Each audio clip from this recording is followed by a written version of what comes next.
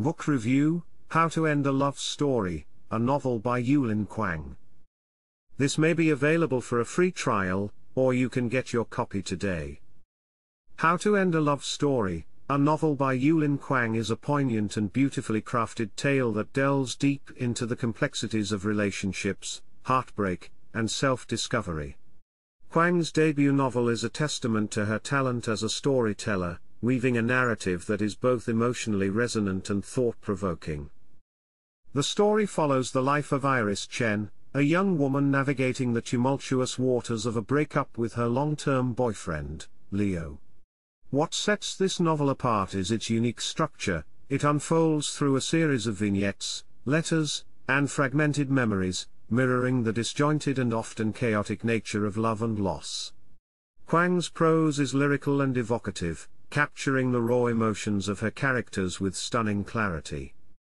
Iris is a relatable and multi-dimensional protagonist, and readers will find themselves rooting for her as she grapples with the aftermath of her relationship. Her journey is not just about ending a love story, but also about finding herself and redefining what it means to love and be loved.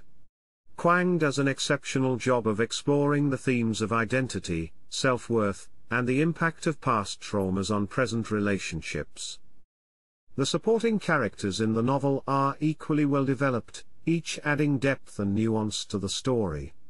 From Iris's best friend, Emily, who provides comic relief and unwavering support, to Leo, whose complexities and flaws are gradually revealed, Kuang ensures that each character feels authentic and integral to the narrative.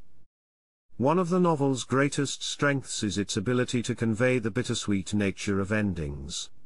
Kuang doesn't shy away from the pain and messiness of breakups, but she also highlights the moments of beauty and growth that can arise from such experiences. The book's ending is both satisfying and open-ended, leaving readers with a sense of hope and the understanding that love, in all its forms, is a journey rather than a destination. How to End a Love Story is a remarkable debut that will resonate with anyone who has ever experienced the highs and lows of love. Yulin Kuang has crafted a novel that is as heartbreaking as it is hopeful, and it marks the arrival of a talented new voice in contemporary fiction.